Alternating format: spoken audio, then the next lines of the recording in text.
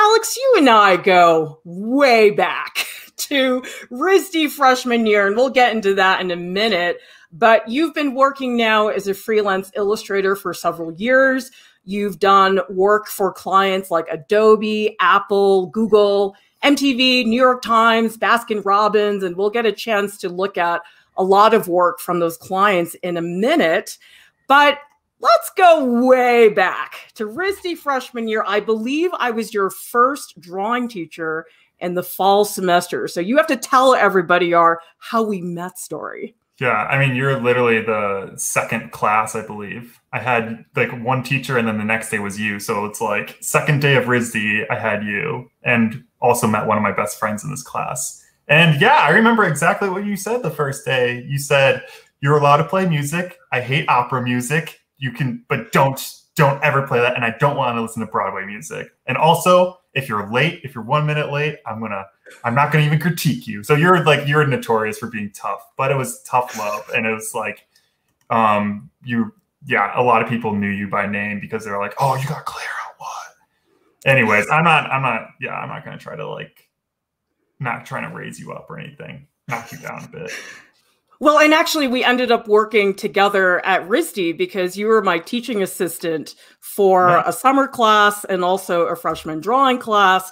And I remember you were the student. You said to me, being in your class is like having Stockholm syndrome. yeah, that's a, that's pretty. I put it in as my my quote on my yearbook. So I, I would say that's accurate. What did you say? Yeah, definitely. I mean, if I put it as my quote, it's definitely accurate to me. I was like, I was like, I'm like, she was so mean to me. But no, you were actually really nice. It was just, it was tough love. Like the whole class. Oh, cry me a river. you know what you're like? Apparently, Bob Ross was apparently really tough because he was like a like an army marine. And then he started doing painting, and everybody just thinks of him as like really nice. You're like the same thing. Like people are probably like, "Oh, Claire's just so nice," and they're like, "You didn't know her back in college. She was so tough." anyway, you ended up majoring in illustration at RISD. And let's talk a little bit about your senior year. Did you know at that point that you wanted to do freelance illustration? Ooh, um, senior year was like kind of definitely this like weird period where I didn't, I wanted to do freelance. And I had um, a teacher, Chris Buzelli, who told me, and he was like, you have to be really proactive to be a freelancer. And he, he kind of was actually a little bit open. He's like, I don't know if you you could do it. And I honestly didn't really pursue it, pers- like go for it at first. I actually went for a, like a salary kind of job, being an in-house illustrator. But then um, I decided like later on after you know I started getting some requests for clients that I I decided to make that leap into freelance. But it was definitely like a little scary, and I was not really planning on doing it. Well, what do you think is the hardest thing about starting a freelance career? Uh, I mean, obviously, it's like getting clients. It's like, how do you like go right to, you know, starting freelance and just kind of like, okay, I hope people come to me and like, you know, get that attention. And, uh, and it's also just like, and honestly, it's like the budget. Like some people are like, oh, I saved $5,000. I can start doing freelance. And you're like, five thousand dollars is going to burn through quickly, and like a lot of people, it takes like years to feel like they got like a financial grasp on it. Not to scare anybody away, it's just like it is ton of. It definitely kind of has its hustle to it. For sure, and freelance is not something you can just start. You have to build it gradually over time. And for a lot of people, it takes several years to build that client list and to get that trust. All right. So, what did you do right after graduation? Did you move to New York City? I know you're in New York City now. Yeah, so actually it was um it was senior year I like had no money. I had $600 in my bank account. I was still living just right off campus and um my girlfriend at the time like moved to Portland cuz she started working at Laika and I was kind of like left with $600 in my bank account and not knowing what I was doing with my life. So I decided to actually get a I applied for a job and I got an internship at this like little company called Marco Polo, um, which was like a children's app company. And they, I didn't, I didn't actually realize it was an internship until I got hired. I thought it was like a real job, but they like paid me like minimum wage, and I was like, really it was like 10 bucks an hour in New York City and like not being able to afford food and it was like real it was like not a fun experience and that uh, financially until they finally hired me um and then I was actually like the salary man I was like oh I got an actual paycheck and that's how I was able to save money from that I was able to save money and build up so that when I did want to make my leap to freelance I at least did have some money saved up to you know not worry Dara is saying, Did you wet your pants a lot or a little going freelance full time unexpectedly? Ooh, uh, I I was fortunate. Like um, I had um, like I said, I had some. I did have some budget, but did, I did have some nights where I was like, Oh my god, did I make the right choice? Like you kind of feel it's like you don't have a safety net, and that's what's scary. It's like you feel like your whole life you have like that safety net, or sorry, when you have a job, you have that safety net. You're like at least like as long as I go to my nine to five and I don't get fired, I'm going to like still get a paycheck coming in. But it's this is like you don't know when your job's going to come, when your next job is coming in, and you have little bills of like of like health insurance, which is like five hundred and then rent, which is like a thousand one hundred dollars, and then like taxes and all this other stuff, and you're just like, oh my god, like I have to like save money for taxes, and that like some I had some restless lights in the beginning. Um, it was definitely very very stressful and I know social media actually played a pretty significant role for you at the beginning of your career. And I'll tell you, five years ago, I was like, ah, social media, whatever. But I feel like now it really is getting people bona fide work. And for yeah. you, there was a big moment because you actually did this illustration, which changed your whole Instagram presence. Tell us what happened with this illustration. Yeah. Um, so I was like, I was hitting like a thousand followers, and I was like, oh, you know what?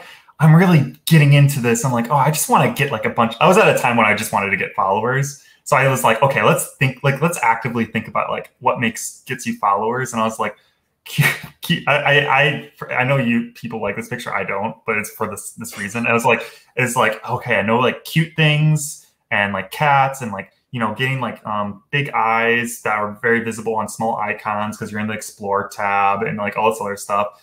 Um, and then juxtaposing that with like you know this jelly eye with like these and and then essentially I, I like took like another person's picture of a cat and drew it and then I said in the comments and this is what actually got me like a bunch of this is what happened is like I said does anybody know whose cat this is and everybody was tagged that photographer who's like this Korean cat lady who's like got a million some followers. And then she's because everybody was tagging her, she saw it, she reposted it, which brought traffic back to my Instagram page from her million followers. And then that, so I woke up to like 8,000 likes. And because I had 8,000 likes from just waking up the next morning, I like, I became trending as like number one on the art page of Instagram, which then gave me about like 3,000 or 4,000 followers within about a week's time and that's like just like it just like bumped me up from that. I was like, oh wow, like just this single picture. And I was like, I could maybe keep doing this, but I also kind of felt like I was selling my soul. I was like, I don't want to, I don't want to do another one. but it's cute. It is. But cute. I know a lot of people that like my cat picture. It did lead to bona fide clients. That this was not just a bunch of likes. It actually yeah. became something with visible results. So, what started happening in terms of those visible results? Well, I know one client that like really liked it was that got me a job, which um the really famous company uh, Nobrow, Nobrow Press, which um if people in the illustration community really know and they really respect that publishing house. And they said specifically they they hired me because they really loved my cat and they wanted to make a book just like on my cat alone. And people are like, wow, that's like not only like a children's book place wants to like make a book just on that like concept of your illustration, but they it's like Nobrow of all places um, but yeah, it's it's um there were some jobs like because of these followers I was getting in, I was getting like you know people like followers from like art directors and people, and I would get emails being like, hey, I really like your artwork. Um, and I would love to hire you for a project. And that's kind of how Instagram works in most cases. Neftali says, This is for Alex. How many places can illustrators work in? I'm studying speech pathology, but I want to combine it with illustration. That's a great Ooh. question. Ooh, can wait. What is what is speech pathology? Can can you type that? I don't know. You can't well, type maybe, it. Maybe Neftali, you can explain in the comments what speech pathology is. But I think the basic question is, can you do a freelance career and something else at the same time, or do you really have yeah. to go hundred percent in? No, no, no. Most people actually do combine it with other things. Uh, I wouldn't say it's like necessarily speech pathology, but that's really awesome. And I actually think people who are more further apart and can combine those two they make the most interesting art in general because uh, they have such diverse knowledge and things. But um, most people I know actually they could do like full time as like say a graphic designer for like a publishing house, and then they do freelance on the sides, spe- like specifically New York Times or sorry um, editorial. So you, they might work for like New York Times or something because that you know you can just work you know in the evenings and you know get your reputation as a freelancer through that way.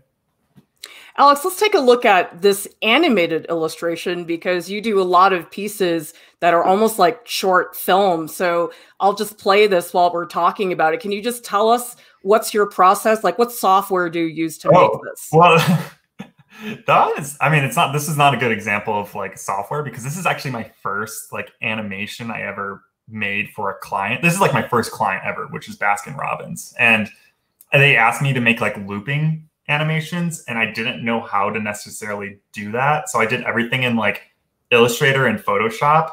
And then when they wanted, and it was like I spent like day and night trying to complete it. But if I did it nowadays, I could probably do it within like a few hours. But it was like then I was like spending day and night trying to get it done. And then they were like, okay, can we like have some changes on it? I was like, changes? Like what? That's like a thing? Like they're like, and I was like, oh no, like this is gonna be like so bad. I I like told them I was like, I honestly don't know how to change it, and they were like, oh, well, we'll just have to do it in house then. I we were hoping you could do it. It's like, oh no, but that's like, uh, it's like first job. It's like, whatever. Neil is asking, I'm still in high school. Should I worry about this stuff? Instagram still kind of scares me. Well, like, what advice would you give if you're a young art school student and you want to build your Instagram presence? Is that really important, or do people need to not worry about that?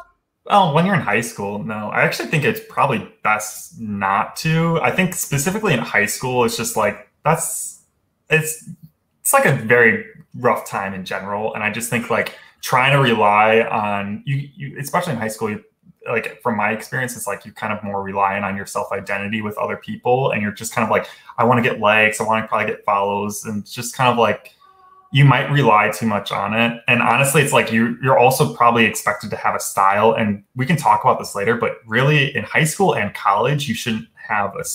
It's good to not have a style evolved quite yet Instead, that should be something that maybe you can hopefully come on later in life um, through your experience, because you might pigeonhole yourself to have a if you have a style early on, and you might be like, well, this is what I have to do, and I can't explore anything else. This is what I do. So I think it's good to just like you know just do you for the time being, and then maybe later on build it up. But so let's take a look at here's another animation from Baskin Robbins. Can you tell us where they put this? Was this oh. in their website or where did this actually go? Oh. Because that context is so important for illustration. So they want they gave me some prompts and they were like, and there was like some of them was like, yeah, like a cloud throwing up sprinkles or like I don't remember the other ones, like a neon light with prayer hands or something. And this one was like an ice cream cone twerking. So I was like, oh, I'm picking that one. And then that was like one of the ones where they like asked for a change and I didn't know how to change it. So they did that in house. And the actual advertisement, I don't think I linked it because it honestly disturbs me. But they animated where the ice cream cone was not very like a like just a happy twerk. It was like a vicious, like staring into your souls, like, yeah, you like jiggling the butt really bouncing them. He's like, yeah, this is great, right? And you're just like, oh god, no, what? And people in the comments on YouTube where it's like, this is a thing of nightmares. like everybody's comment was like, I hate this so much. And I was like, no.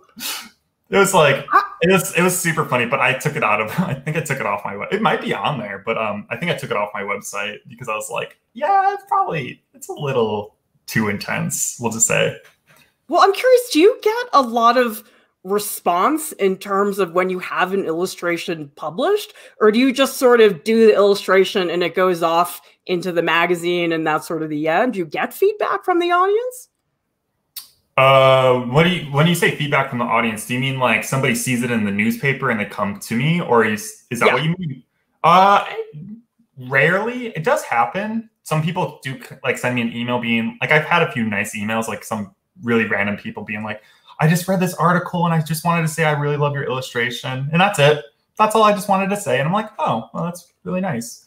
Um, but I do like I do get a fluctuation. Like I get like people that way might like come onto my Instagram and follow me, or they might be other art directors that might save my website because they saw my work from another client. Though that's how like that's how you kind of expand in the freelance world. Is like you work on really cool projects and people go like, "Oh, I just saw this project on my feed from, and that was you, and I follow you, and blah blah blah." Would you say that in the illustration world, everybody knows each other, it's a little clubhouse type of thing, or is it bigger than that? Because I do think that in a lot of art circles, it does feel like this little clubhouse where everybody hangs out. Yeah, it can. It's kind of both. It's like it's kind of clubhouse where it's like, yeah, you. But here's the thing: is that they're very open, and if you want to talk to like a freelance illustrator and somebody that you really admire, I'm gonna say like, there's a good chance that they'll like if you give them a genuine question and want to talk to you, like they'll spend the time and talk to you, and you'll and then just you can form a connection like that. Um, but it is like I we we do kind of like yeah, you kind of do know a lot of each other, and that's just kind of the natural situation of working in freelance. Like sometimes you go like, oh, I really admire this one illustrator that might be a generation older than me, and they have like their own like almost like it's like their own group of like illustrators that they have. But it's like in the end, it's like you you kind of create your own group from your own generation and era, and you still group and you can you hang out and you still network and you still talk to everybody um, from uh, like from all around. It's it's really nice though. Uh, but well, how do you meet the art directors? Do you send them a cold call email? Uh, do ta- like how does that actually happen? Because I think that's the part of the process that people truly just don't know how to go about. Yeah. I mean, I know that there is that book isn't it called like Children's Society Writers Market, something like that? And there's like uh, names of art directors in there. I but oh, I literally have a book. I don't know if you can see it in there, but I do have a book that's called Price. I think that's actually just for pricing, but it's it's talking about like freelance work. But um, no, I actually so I did gave somebody a portfolio review, and I said like, and I showed her how you can find like a client's email and do a cold email within, and it only takes about three minutes to find all the information. It's like pro stalking you like essentially, for example, you can go onto like the New York Times website, find an, illust- an illustration you like from one of the articles, find that artist name, go on their Instagram. The, the person on Instagram will most likely say, "Oh, here's an article I, or illustration I did for an article. Thank you, art director at blah blah blah blah." So they literally said the art director's name. You find that art director, you do another Google search of that person, find their website, you find their email, and it's like essentially it's like you can create an Excel worksheet, ex, ex, like sheet, and then you just like essentially do like cold emails where you say like, I saw like, hey, blah blah blah blah, like, hi John Doe, like I saw your work like uh, with this one artist, and I really love both of like, I love like how you collaborated. I'd love to like also work with you one day, blah blah blah, and then send them an email, and you can send out like mass emails. So a lot of freelancers do that where they send out mass emails and they get their collection of art directors emails. Um, and essentially like yeah if you find like say if you find one format for like new york times and be like oh this is like how their emails format formatted as long as you find know that format you can apply it to everybody. So you'd be like oh so it's john dot doe at the new york times and go oh then it must be jane doe at new york times and you can essentially just you just do that you just go like oh now that they may not give their new york times like email but i can now use that format and just you know, just be logical about it. And now I know their email because it's all the same.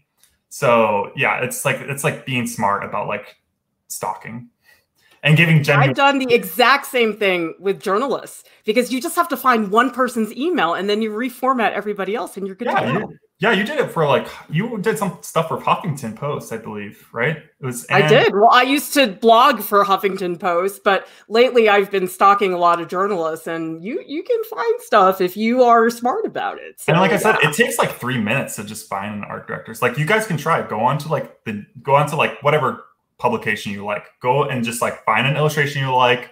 Find that illustrator. Go to their Instagram or Twitter. Find who they find an illustration that you know that tags that art director, find that art director, reverse stalk them, find their website, and it's just like it's actually really easy.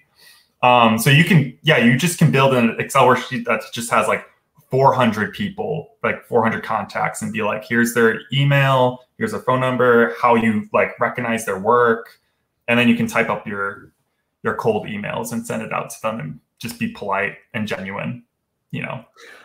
All right, let's take a look at this really quick clip, which is from something you did for MTV. So, is yeah. this the same technique as you did when you were doing the Baskin Robbins illustration, oh. or have you now switched to different software? Oh no, that's totally yeah. That one's so Baskin Robbins one is like all Photoshop, and it's like technically it's cell animation, but um that uh the one from MTV is all CGI, and I use a program called Cinema 4D. And essentially, it was because I was using it for a product with Google, and I ended up having to use it, so I had to learn it within a few weeks. And and then after Google, I was like super into CGI for a quick bet that I decided to like do a whole animation for MTV. I had I, I didn't know how they I wanted me to do a 15 second ad, and I had no idea how to do a 15 second ad. I was like, I don't really like animate like large things. I just kind of do like fun little gifs. So let's just figure this out. I don't know. I'll just do it in CGI. I've never really done a big CGI thing like this. So I hope they like it. And they did. But wait so a second. Like, did, did you teach yourself Cinema 4D or did you know that from school? No, no, no. I never learned it from school. I just taught. It's, it took me like, I so I had to, so when I got my big like when I worked at Marco Polo, I quit because I got a really big job for Google, and it was like a massive residency job. Um, and they said, I, "This is where you have to say like what a scope is in a project." But essentially, I didn't tell them that I would be doing the CGI, and they just assumed I would. So they didn't put in the budget. So then when they were like, "Come to the CGI part," they were like, "Oh, Alex, we're going to do CGI, right?" And I was like, "I I don't know how to do CGI. I just paint." And they're like, "Oh, we thought your work was CGI." So then I had to be like, uh, you know what? I, I can just like figure it out. So I down I got the program. It took me like two weeks and um to like figure it out. It's like a little bit more difficult than Photoshop, but it's Cinema 4D is like a really intuitive CGI program. And then like they imported it into a program called Unreal Engine, which is for you know making games and stuff like that. And they made an interactive VR simulation with my CGI work. But because yeah, that I had to learn on the job for Google. I was like, I don't, I'm, yeah, I, I can do this. And it, it definitely doesn't look good. It doesn't look good. Like the final result, I'm like, ooh, man, that looks like that's some rough CGI. That's like bad but you know. Well, Alex, whatever. that reminds me of the time that they asked me to teach a class at RISD on linear perspective, and I agreed, but I'd never done linear perspective before. so I was like, okay, I guess I've got some summer homework, so you're not the only one like that. Yeah, All right, we have a question from Dara who says, How many tech skills did you enter the market with, and how many did you have to learn to stay relevant and hireable? Great question. Hmm. Um, how many tech skills did you enter? Well, for example, it's just like so there's a thing called a pipeline, and essentially a pipeline is like when a company, a studio hires you, they like want to know that you can essentially work like a gear in a co- like a cog in like a clockwork. And so that's like a pipeline. You have to be able to know like a certain program to pass on to the next person for the next step. So for example, like Photoshop is industry standard, and that's like a program that I might use. Um, and that's like what is expected to know. But Cinema 4D is like, I just taught my, I just, because I kept doing it, people, I guess some clients were kind of impressed that I could combine it and they like did kind of like to hire me to be able to do both in some ways. Um, most of the time, I think people like, like me for my painting stuff though, um, in Photoshop. And then they just kind of go like, we'll figure out how to make it in some sort of way. Just like, we just want like your style in it we'll just figure out how to will be animated. We'll, we don't know how it will be done, but we'll figure it out. Which is, I'm like, okay, good luck on that. I don't know how to do it either. So, but that's always that's always what they say. They just like they just want to figure. They just want to make it look like my illustration, and then they'll figure out how to animate it. Dark Bulb is saying, What resources did you have to learn CGI? Yeah, I mean, did you take like an online class? Did you just look at YouTube? How did you actually learn yeah. the software? Yeah, just YouTube videos. Those ones where it's like some guy speaking Russian and he's just like, you just kind of, it's like eight minutes long and it has like a, like half of it's dislikes because the audio is really bad, and you're just like sitting there going like, yeah, this is just how I learn. It's that's why I said. Fortunately, the program's very intuitive. It's like it's like oh, cube. Oh, there's literally a button for cube. I made a cube. Oh, cool. Oh, I can make a light. There's a button for light, and I guess I can just grab it and move it around.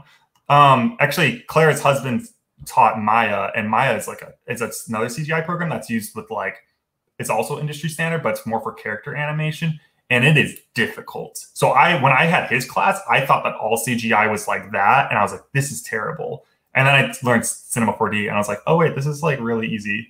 It's like not it's not actually that bad.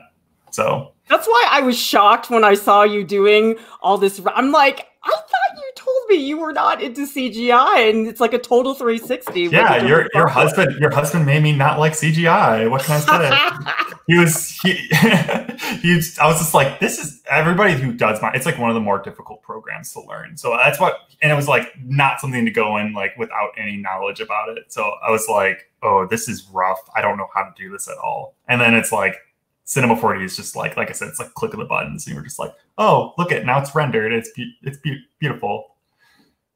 Raphael is saying, have you ever turned down a job? Yeah, yeah. Um, so it's very common I have to turn down jobs because he might be. So, for example, um, for jobs that are like on day rates, you can't take another job because they're essentially you're saying I'm giving you my service for that day, and they might be like, hey, can we put you on a hold, like a booking hold? And essentially, I give them that promise I won't take another job for that amount of time uh, that they have me on hold, even though the job, so it might be hold for like a month, but the job might be for only a week long. And I have to say, like, I won't take any job within that month because you might need me. And then essentially, that's the thing is that all these jobs always come at the same time. It's like the annoying thing. They all come at the same day. It's like five jobs, like all within that same week. They all come and they're just like, we need, we want to hire you, blah, blah, blah. And then I'm just like, I can't. I, I just took this, I put myself on a month long hold. So there's like a thing called first holds and second holds, where essentially first holds is like your first promise. And then second holds is like, it's like if I don't get this this one and I can negotiate with them, you'll be my second choice, essentially. Um, but yeah, it's it's it definitely turned on lots of jobs and some really good ones. Like I turned on Facebook and Nike for like some some of them, and I was just like, oh no! Like especially when I was starting off, I was like, oh no, this is like the biggest jobs I'll ever have, and I don't ever get. And I was like, okay. Nowadays, you, well, a lot of freelancers tell me that oftentimes it's feast or famine. So how do you deal yeah. with that? The lack of predictability is so hard. I mean, how have you managed that? Yeah, that's like that's um uh luckily coronavirus coming around and taxes are delayed until you get a good job and then yeah, it's just like you're just kind of like for a long period of time it's like being on the edge and you're just like oh man, like I don't know if I can pay my month's rent this month. And then it took but that's the thing is like that was in the beginning. Now I feel a lot better now. Um, but it definitely took a while. I will say that I'm not a very good example because, as I said, I'm not very proactive in trying to get clients. I kind of just re- I'm pretty bad in the sense that I let them come to me. But people who are very proactive can like do quite well, and they can like if there as long as you do like cold emails and you know stuff like that you know sending their pdfs to work or like google slide links of your your work to clients and being like i'd love to work with you let me know if there's a job here's my availability you know so that's it's a little different for other people though Tom is asking, how complicated is taxes, social security, health insurance, contracts, and accounting issues as a freelancer? Do you do all of that yourself? No, I actually can't because um, my family, there's like, my family has some things where it's like, we, we, our taxes are just too complicated because of some things that, you know, property and some stocks. So essentially, like, I just can't do it myself. Um, but yeah, you good thing is like you should write everything off that you can. Otherwise, you know, you're going to be getting like a giant. You're going to realize you're going to be also like owing a lot. You can write off a lot of things as long as it's legal. You know, be good about it. Don't yeah. Yeah, that, that's a little bit important. it's important to say. I have some friends who are just like, oh, I just write off everything, and I'm just like, is that like? But can you do that? And they're like, nobody checks as long as you don't get audited. And I was like, um, okay. My family plays on the safe side. We they're like, no, write things off, but like, no, as long as it's like appropriate to the government. Yeah, of course. Well, let's talk about these logistics because I'll tell you, whenever I do lectures, I have to hunt people down to get paid. Like these people that hire you, they do not keep track. Like I actually emailed somebody this week. I said, listen, it's been three months. I have not been paid. They're like, oh, we just need an invoice. And I'm like, it didn't occur to you to tell me that three months ago. I, I mean, what do you do with that when you have these clients that are just a big pain in terms of getting paid? Yeah, well, you can. Um, I haven't done this, but I did hear of uh, one thing that you can do. So on your, because you do send your invoices out, and then what you can say is a thing called net thirty, and essentially net thirty means is that you have to be paid within those 30 days after receiving that invoice. Otherwise, they'll take you put on essentially a, a, fee as like an artist. You can be like, oh no, you owe me more money because you you delayed it. Uh, I haven't done it. I don't know people who have done. I have per- heard of people that said that they put on like a net 30 thing, unless it's like I don't know five percent fee or whatever. I don't know.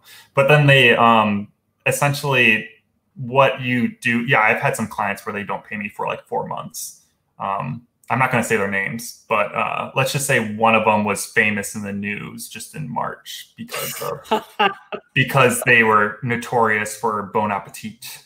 So, yeah, I've already just said the name, but they they the magazine was really nice. It's not their fault. I like the art director. Just want to say that she sees us and be like, no, no, no, you're great.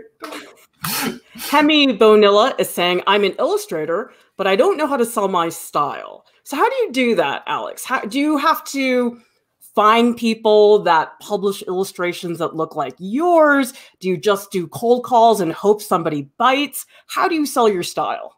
Sell your style. I so I mean, I guess like as an illustrator, you think of your some people think of themselves as like a brand and don't don't get intimidated by that word brand it's like it's not like super corporate and but it's like brand is just like kind of like yeah like having that style and like an art director might want to hire you because they know that what you're going to produce is almost like it's like they can they know what you're going to make and they're not going to be unpredictable with like whatever you're going to make. And uh and a lot of times yeah they want to hire you for their style. Um i don't know what like what do you mean by like selling it though? Like how do you how to sell your style? Because it, it's like sounds like like are you just saying like oh have a cool style and then you'll get clients. Like what is what do you mean by that? Like I I would say, I mean, Hemi, you can tell us in the chat, but I would say, how do you know who to approach? Because there's so many magazines and mm. publications out there. You have to whittle it down. And so, do you look at the illustrations and say the New Yorker and say, oh, they like this type of stuff. I think I'm gonna make that. Or do you have your own style and then try to match the magazine to yourself? Like, because a lot of magazines have a certain look for their illustrations. Yeah, I personally would say to a degree, just make your own work and then try to find something that more matches to it. Like you don't really want to like try to put yourself into a situation where you're just trying to like you're like, oh, everybody's like really into gradients right now. I'm gonna I guess I should make things that are like gradients. And that's like a trend right now. And it's like you should not do that. Art directors don't actually care as much for that. Like it's like a little percentage that they might like be like, oh yeah, it looks cool, maybe because it's like in style right now. But for the most part, it's like they really like originality and they do like people who are like very confident what they do and might be not as they might not have seen it before. Um, so I just think like you just shouldn't try to follow exactly like what other people are trying to do and thinking like, oh, this is what the client wants. So I guess I'm just gonna try to like make my art look like what the client but then that's where I say like, but you know, to a degree, don't also just like be total opposite and be like, oh, they really seem to like corporate friendly children's books, but I like to draw creepy, like creepy monster creatures that are like from what's it, scary stories to tell in the dark kind of stuff. It's like, you know, have a degree of like knowing like what your client is into. Neftali is saying, do you need to do digital to work in freelance or can you get by with just doing traditional? Oh yeah, you can just do traditional, of course. Nobody, honestly, like you can find like people doing like, for example, illustration. People think, oh, if you if you don't have an experience with illustration, you might be like, oh, illustration is just like flat design that you see in magazines or it's children's book. or it's like working for DreamWorks. But honestly, it's like illustration is like everything. It's like you can do sculpture and photograph it and then, you know, give it to clients or, you know, installations. It's actually very broad. So it's like, I would say that traditional, there's a lot of, it is a lot more probably time consuming work in some ways. And maybe making edits might be a bit of a pain, but there's a lot of illustrators that do traditional medium. I'd say it's pretty half and half, honestly. It's like, yeah, digital or or uh, traditional.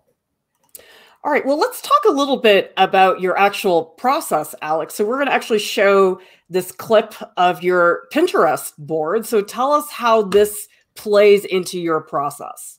Yeah, um, definitely. Like, if I'm, for example, if I'm having like kind of a slow period, okay, first I'll just say that like it's good to just have like something to have as inspiration and references and I just love Pinterest because you can like once you find something that you like, it will just know based on what you liked that it will give you a pretty good. If you click on that picture, it'll give you like a pretty good like accurate of like other pictures that you might like, and so you can really just kind of go down like the the, the what's it called like the Alice what just going down the hole rabbit hole can, rabbit hole. Thank you. I said I almost said Alice in Wonderland hole because I don't know why. But um, yeah, you can like essentially just like go down the rabbit hole and just keep collecting more and more and more of like art that you like feel that is really working and you like. And then from that, you can take that and then be like, oh, I'm not feeling really inspired. I'm not really making art. I like to just go down and just like start looking at it and just getting inspired by what I like. And then from there, just like taking things like, oh, I like this idea and this, and I like this idea and this. And it's especially helpful with editorial because ideas are constantly recycled. So if I'm like struggling with a concept, I might just go to my Pinterest board and be like, just kind of like work that brain a bit and be like, oh, I kind of like how this, maybe I can combine this with this. I, oh, yeah, that's like an idea. Because we always get stuck and we always just get kind of like, we kind of put ourselves on repeat of like what we're trying to, we're just like get stuck on the same idea. So it's sometimes hard to break away. And sometimes just looking at other people's art can help you break away from ideas. For sure. I mean, I think that we all sometimes need to reset every now and then. And I think you actually told me that texture is a really big part yeah. of your process now. And actually, that goes back to freshman year because I yeah. gave you a project on texture. So where's the connection there? Well, you are like you're all about texture. It's not one project. You're all you're all texture. It was like uh, I mean, personally, like CGI, I love texture because it's like you can you can essentially like get the the feel, and because you understand things like specularity and all this other stuff, you can like learn to apply and where it is, and it's like, oh, this now looks like can turn from sandpaper to fuzz to like, and it's just like people really like textural things. We like to see artwork that can you can just kind of like touch or taste or smell, and it just like really gets you involved into the artwork. So um, yeah, uh, I just think it's good in general. Like when you're following artwork, it's just good to like not just follow like, oh, I like doing concept character artwork. I just only going to follow what I think of as like concept character artwork or like you know DreamWorks artwork. It's like it's good to broaden yourself and just really branch out, even from illustration, being like I follow ceramics artists because I love or glass artists or something like that, and I just love the the work that they make from that and thinking, oh, I love how it's like translucent here. I wonder if I could apply that here. Yeah. And tell us about this clip, which is you actually making your own references yeah. for textures in Cinema 4D. How does this work? Yeah, I mean, I yeah, I love this. I can use it for textures, and um, I definitely love it. Like for example, that golden metallic look. It's like I can use that and just be like, oh, like if I'm trying to draw something, I can use things as like reference to figure out how it actually works because it's literally it's literally using the light rays and making it accurate. So then I can just essentially be like, "Oh, I like how, you know, this metal looks and I can learn how it like reflects off of like surfaces and oh, it's kind of like brown here, but it's yellow here and it's like it just really helps in some ways. And it just really helped me understand lighting in general and how materials have like substance and be like specularity and things called Fresnel and fall off and stuff like that, which I guess sounds like gibberish when I say it like that, but it's um it does have its benefits. And I learned that just taking that, I can apply it to my paintings, and then I'm like, oh wow, it just elevated it. Um, yeah. Well, do you ever use photo references, or is this all just out of your head? No, no, no. I use photo. I use photo reference. Most of my stuff is normally out of my head, but when I do, but when I get into things like I've been drawing a lot of people more recently, so I use like references for like not like not like cartoonish people because those are more like geometric shapes. I don't really need a reference for that, like in that slide. But like my most recent stuff, like on my Instagram, it's like more photo or it's like more like realistically looked with stylization. And I need to a little bit know about like, you know, the zygomatic arch. What was it? It's like your favorite bone is the zygomatic arch. I always remember you saying that. Um, and it's just like little things like that. And you like kind of be like, how does it actually shape and form again? How's the muscles when I like when I like do an angry face? What's the what's the like how does it tense up here and stuff like that? Um, yeah, that's like definitely I use references for certain things. I'm not gonna like I don't know how to draw a shoe. I'm gonna like look up how to draw a shoe. Yeah, too. That type of stuff too. Liam is saying, which artists and references do you find yourself looking at frequently for inspiration? We've looked at your references, ceramics and textures, but there any particular artists or illustrators that Ooh. you like looking at? Oh, I think it just like depends on like I go through sometimes phases, and then I have like my favorite artists that I just like really like. I don't know if there's like anybody that like I can say that I like look at as like the top of my head, but there's always like there's always like maybe something I'm like I kind of get drawn to if an idea, and then maybe I like I don't know. I don't I don't know if there's like anybody I can think of that I'm like I can think of as really as a ref an artist reference. I know like I've I've had some like um he's like a friend of mine, Cesar Pelizer. He's a CGI artist who does editorial work, and I really was digging how he uses like the square format, and his composition is like it's very like he can fit everything within this like frame of a square on Instagram and it's just like I love his like how he does compositions in that way, and it's like very simple and very elegant. Um, and so I was just kind of like, oh man, I just like want to do things like that. Like I just like want to try to do something like that. Um, he's like definitely like off top of my head. I know another CGI artist is like Jack Sachs too. He does like he did some really crazy things too, and I sometimes am like, oh, I love how it's just like eyeballs stacked up on top of each other or something. And yeah, he's cool. Yeah, I like both of the guys. Juliana is saying, can you give advice for those who are really just starting out? Uh, that's very broad, but uh, what type of advice, like specifically, I guess, um, like freelance, well, just, just, in a nutshell, art? Like like in uh, general, starting a freelance career. What was the most pivotal, maybe action or mindset that you took? Well, I guess like one of the things I tell people is like, you know, one you should want to fail. So, and this kind of relates to style and stuff like this too. It's like, one, you don't want to try to force yourself to have a style. It usually comes naturally through your process and you learn what makes you happy with your process and just kind of feels like this, this just feels right. And then like over time through this process you develop, you might gain a style. And then also you don't want to like pigeonhole yourself into like limiting yourself with things and you should just want to like explore and fail at the same time especially when you're starting out um, so when you're so you it's good to fail and don't think of artwork as essentially like this grandeur piece that you want to hang up on the fridge but instead think of it as i made this i can almost like don't don't attach your emotions to it just be like i made this i learned this from making this I can push that art piece now to the side and start on a new thing by taking what I learned and now applying it to my new thing. And you just keep doing that down the train. It just like keep going down. And you just you just gotta like learn to like yes, put in your portfolio if you think it's good, but don't get like emotionally attached and be like, I want to get a tattoo of it. I want to hang it up on my wall. It's like, no, just like do it, move on. And then it will help you like accept failures when things don't look good because people might critique it and if you get emotionally attached you're going to be like oh, but i love it. It's like my thing and i must be a shitty artist or, or terrible artist and blah blah blah. And you got to just move on from that. Yeah.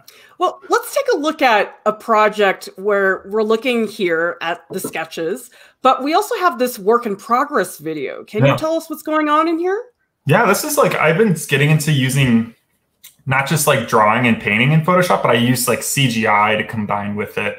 So it's like I painted the face, but then I'll use like the shadowing from the CGI clouds and the water because I because like, you're on a deadline and you know you're also on a limited budget. You're not gonna. I don't really want to like paint every wave, so I just decided I'm just gonna make it in CGI real easily. And then I just took that and then I was like, okay, and now I can take the lighting passes and be like, okay, let's use the lighting and the shadows here and just like put it here. And same for the clouds. And honestly, I like the effect. There's a few artists that do similar ways of working. Um, like an artist named Beef Strong, he does something similar to that, and his it looks really cool. It's like you can't tell if it's painted, you can't tell if it's CGI, but it's just like learning how to take shortcuts is really important in freelance too. It's just like you you you want to make it look great, but also don't like spend a million years trying to make it when you're only getting paid like 500 bucks or something or 300 bucks. Well, isn't the turnover time for especially newspapers crazy tight? I mean, New York Times, yeah, yeah. isn't it like 48 hours, 24? What is it like? Yeah, I've had I've had a job that was like 48 hours, but it's usually it's like about maybe a little less than a week. Maybe it's like 5 days, maybe a week. Um, and they just you're kind of especially me where I feel like some people is like very like pen and ink and they can just kind of quickly draw something. It looks like mine's like painted, and I'm kind of just like, ah, great, yes, I'll do it. But yeah, like it's like I have to sometimes spend. I fortunately have a process where I learned how to make it real quickly, so I can pump out work a lot quicker than I used to. But um, yeah, it's you have to learn how to take shortcuts and be quick and efficient with things. Yeah. Neftali is saying, have you had clients that were hard to work with? How do you deal with that? Yeah, definitely. I've had uh mainly one client that I've usually actually had all my clients have actually been pretty good. I think it's just you know, some people kind of as an artist, you might kind of it's good to not come off as cold and sterile and just think of things like, "Oh, I make you artwork, you pay me money." Don't really think of things as that. Think of things as almost like you're working with an art director and you're collaborating and it's good to just try to keep a healthy positive atmosphere um, so just kind of like just sometimes it's yeah, it's not easy to sometimes I just want to be like, yeah, just here you go, blah blah blah blah. But if you can just try to like make sure that like what they're doing is appreciated, you know, that you're happy to make the work. I did have one and he was like very nitpicky and just kept wanting change after change after change until finally I was like, I can't, I sorry, I can't do this. I just like I, I felt kind of bad. He was like the only one um, and honestly, you do have to just kind of have a spine and step up. If you, if it's like change after change after change, you have to be like, look at like we be polite. Look at we we've been doing this for a while. I can't really do any more changes. I think we should renegotiate and be like, if we keep doing this, I renegotiate the pricing on this then because it just kind of feels like, yeah. That's why you, sometimes in the contract you say I only do three changes, and then anything more you put add a fee onto. Yeah. Leanna is saying, How many pieces do you think a beginner illustrator should have before they do cold emails to art directors? Your work inspires me so much. I also combine CGI and illustrations. Ooh, awesome. Great to know. Um, yeah, it's not really, I mean, obviously, you probably want to have more than like three pieces, but like, um, it's not really about the quantity. It's not about like, I, it's more about like knowing that you feel like your portfolio uh, just feels strong and and doesn't feel very amateur. Um, I guess it's kind of hard to know when you've made that that leap. I think it's like you feel confident in your process, and once you feel like you know how your process is, and that everything kind of feels like if a client sees your work and they go like, I know that this is like an Alex Kiesling work, I'm gonna hire him because I know his style and I know I can feel like he can match with the thing and I, he's not going to be unpredictable and give me some random other thing. Um, but yeah, it's not about like maybe necessarily. It's like yeah, maybe I don't know. But if you want a number, maybe like more than eight though. Like you say, like eight pieces, more than eight pieces. I don't know. I'm just like saying it's not really about the number. It's more about like the quality of work that you're making. And then, Alex, how do you actually show them your work? Do you say go to my website? Do you give them files? How does that actually happen? Yeah, there's actually a few ways depending on the client. So if I'm working for a studio, it might be that I would, if I would just send a cold email, I can send a PDF of my work.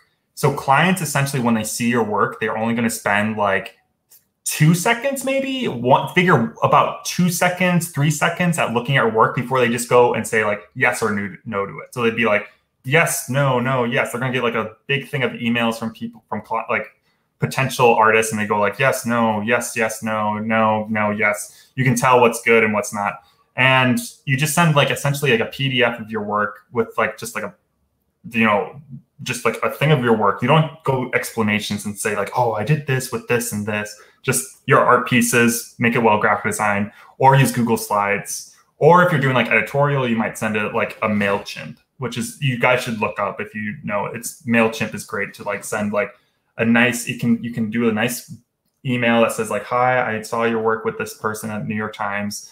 And then you have a nice picture so they can right when they open that email they see your nice artwork with some nice little better than just like a blank email like a boring email. And then they can go like oh that's really awesome. Oh there's a hyperlink to their their instagram or twitter.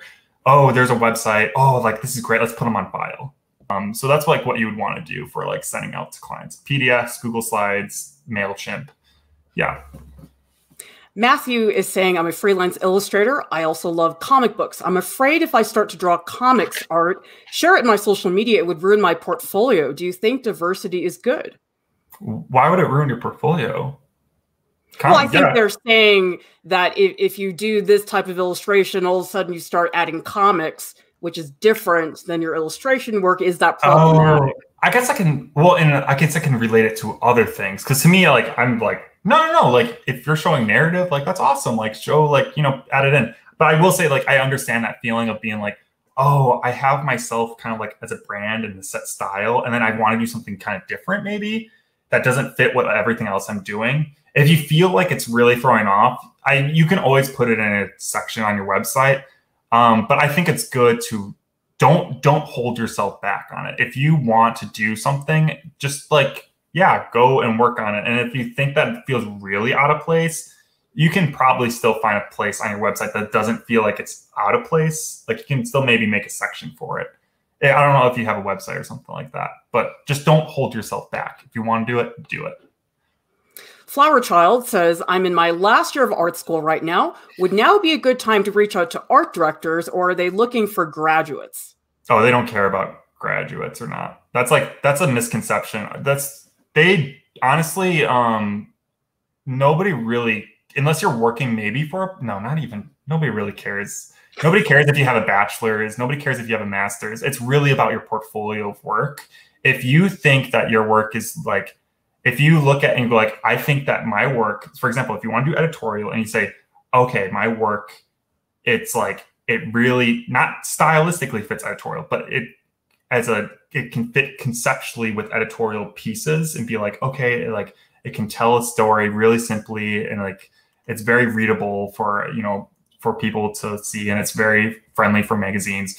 Like then yeah start hitting up and sending things out. It's never really too never too soon because if you send it out and they don't get back to you just take it as a grain of salt wait a few more months, make more artwork, and then send more art, send more out of it. It's very common. Like everybody won't hear like it's very common you won't hear back. That's like just an accepted fact. And everybody knows it in freelance. When you send out cold emails, you're probably not going to hear back. So don't take it personally. Just hold on, just wait a little bit longer, do it more. And then again, you're not going to hear back, do it again, do it again. So just just do it, persist. You know, you'll get you'll get a you know, they'll find you. Sister Bear is saying, how do you keep from getting burnt out from client work? Yeah. Um, I that's where I said like CGI is really nice. So I might do I go through phases where I'm like, I just do pure CGI or get really into like CGI and animation, and then I get burnt out from that. So then I go, I'm like, oh, I'm burnt out from this. So then I start painting, and then I get burnt out from painting after like a month. Then I go back to CGI. And I found that to be really helpful is like being able to essentially switch between things. Like there's some artists who are like, I only draw, I only paint portraits, and that's all I do. And I go like, man, I would get burnt. I would have an existential crisis of like, this is what my life is. This is all I do. So it's like being able to know that you can explore other things. One, you gain more knowledge and learn how to apply it to both those things. I can learn from painting how to apply to CGI, and from CGI I can plan to apply it to painting. Uh, so then from those, and then I can also just be like, if I burnt out from this, I can move on to this and it can keep me going. It's kind of like when you farmers, you don't just keep planting the same crop, you actually move the field so that new plants can grow so that the field doesn't become you know, desaturated from its the nutrients. You learn how to move on to new things and keep it going so it keeps it keeps surviving forever. Dark Bulb is saying, as an illustrator and sole content producer, do you find that past max capacity of gigs is it necessary to branch into side avenues for financial growth? Wait, what is that? Hold on. Okay, sorry. I, I I'm gonna guess. Do you have to do other things in addition to the freelance stuff? Like you told me actually that you are now able to survive financially only on freelance. But you know, some people never get to that point. I some think, people have to have another gig. Yeah, I think I'll, I don't know if it's most people, but yeah, I think maybe you could say most people actually rely on another gig like a salary job or you know they'd be like oh i have a job where i can work three days of the week on like you know and getting good and it's a stable paycheck to keep on float and then they use their freelance work to add that extra money in you know so it's it's very common. That's like i know a lot of people that do that. That's why i said like they might work for a publishing house to do like graphic design work but then they do like their editorial work on the side or their children's books or something like that which is really that's what really helps. Yeah i, I mean, know. i know very few people who live exclusively on freelance and even fewer people that have kids and a family and a house. I mean it gets even more complicated once you have so many more financial obligations. It's uh, very, very hard for a lot. Honestly, I don't think I know many people that are pure freelance that have like wife, kids, and everything, and we're living in New York City or something like that. I don't know. I think a lot of people tend to. This is like one of the questions that people have. Is like once you get to like be like past like 30 or 40 you know you don't see many like those illustrators everybody that's an illustrator is like in their 20s or something or like in their 30s and it's like where do they go? And I think like they still one, they still are doing freelance, but there's a lot of them that also have learned that because they have so much experience, they've also become art directors, and they're a little bit maybe behind the scenes with some things too. And I have a few friends that have now been like they went from freelance to being like now like art directors, and one of them is your past student, you know, and one of my friends. So you, you know who I'm talking about. I'm not going to say his world, name. Alex. It's a small world. We're not going to say his Mr. Forbes 30 under 30. We're not going to say his name. Uh, Raindrops is saying, How were you able to develop your style and illustration? Any tips for beginners like me? Uh, well, like I said, um, don't try to focus. If you're like in high school, uh, and even early in college, just like don't try to don't think about style necessarily. Think about exploration and think about what you can learn from abroad, from just many things at once. Because um, if you set yourself on a style too soon, then you're going to pigeonhole yourself, and you're going to be like, "This is just what I do." For the rest of your life. And it sucks. That's going to suck. And I know people, I know people who I will not say from college that did that and that's all they do. And they, they never once like went out and tried to do anything else. And it's from, from freshman year when I first met them. So now it's the looks the exact same. So honestly, but if you're like, if you are maybe at a stage where you want to get into client work, I would say like focus on trying to get like a process down and what your voice is as an artist and then from there being like oh i love the you know i love printmaking i love the repetition of it or like i love being really loose and it's almost like uh was it john lieberman? Or, it, or no who, who am i thinking of? There's oh sorry whatever i can't say the artist name. I normally would say it off the top of my head. But he does like really loose like pen pen um, sketches but very conceptual. You're like am i really into conceptual work or am i really like into like you know drawing dragons and digital painting. And you know you might find that you get kind of shifted towards certain things and from the process and you kind of just start to lean into things. And it just takes time. You just can't force it though. And i know claire will say the same thing. You can't force style and you shouldn't force style and guys, I get it. I know why people want a style because that's how people get hired and that's what artists are known for. But style should evolve naturally. It should not be you wake up one day and say, Today's the day. I'm going to get my yeah. style. Definitely does not work like that. Yeah. Honestly, I recommend you guys go ahead. Oh, I was going to say, oh, we're almost over. I was going to say that, yeah, from my early work, I didn't have any style from college. So I was going to say, like, I was not, don't worry. It's like I have a style now, but I didn't have a style back then. I mean, look back to the charcoal drawings you were doing in my class. I mean, those are so different than what you do now. Oh, so yeah. don't stress about it, guys. Just let it take its own natural path. Alex is on Instagram, so you guys can check him out. And he also has a website, and all of these links are in the video description below. And Art Prof has a podcast. It's available on Spotify and also on iTunes.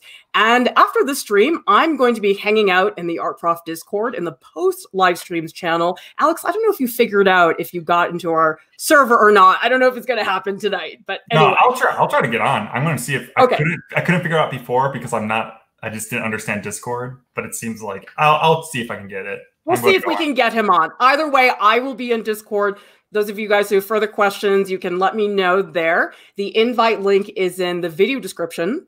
Subscribe to our YouTube channel and join the Art Prof family. And thank you to our top Patreon supporters who keep the lights on here at Art Prof. Thank you to everybody who came to the discussion, who asked questions. You guys were great in terms of really picking Alex's brain. And thank you, Alex, as always. You never thought back in 2012 we would be on a stream together, did you? no. Well, I didn't know. You, yeah, I didn't, it's it's been many years. I didn't realize it was that long, but I guess like eight years. It's been a while. You're old now. You're you're in the old people club. I'm sorry. anyway, thanks you guys for watching. We'll see you next time.